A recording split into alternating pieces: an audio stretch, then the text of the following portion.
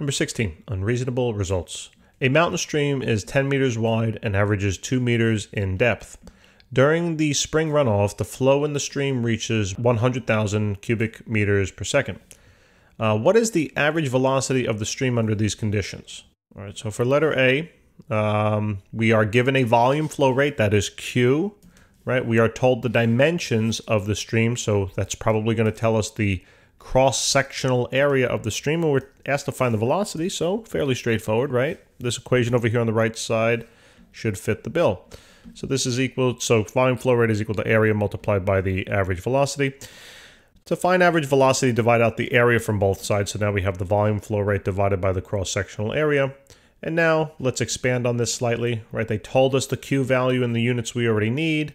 And uh, the area is, now this is a rectangle, so we know that this will be length times width. Please don't plug in pi r squared, even though, right, that's what we're used to using.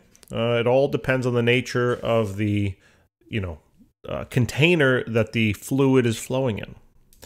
So Q, they told us was 100, 100,000, and the length times width, so this is now 10 multiplied by 2, whatever. I know I'm not plugging in the sig figs there. I'll try to take it into account at the end and there's no guarantees. So this is 100,000 divided by 20 essentially, and we get 5,000, right? So this is now 5,000 5,000 meters per second. So that is the flow of the water. What's the problem?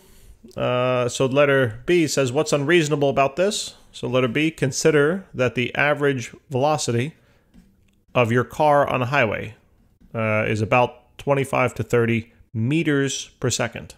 All right, let's use the value of 30. Doesn't matter. Okay, this is how fast you're driving on the highway, roughly on average. Well, if you're obeying the speed limit, let's at least uh, at least consider that that's the assumption I'm choosing here.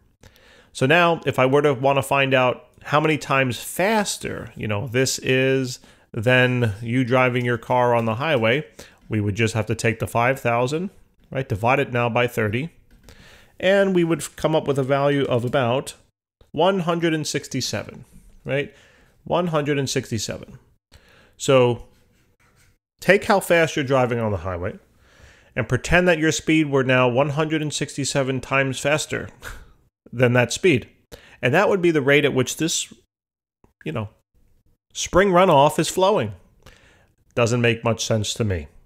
So what's unreasonable? Um, you know, anything that's going to then reduce, right? This cannot be that high.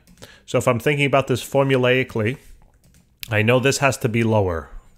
Now, if this on the left-hand side has to be lower, then I want to think about what does Q have to be in order to make this result lower? Well, Q, since it lives in the numerator, has to be lower itself. So either the volume flow rate is wrong, it's not as great, or I could also say the denominator values can go up, right? If these denominator values go up, then V will go down because they're inversely related here.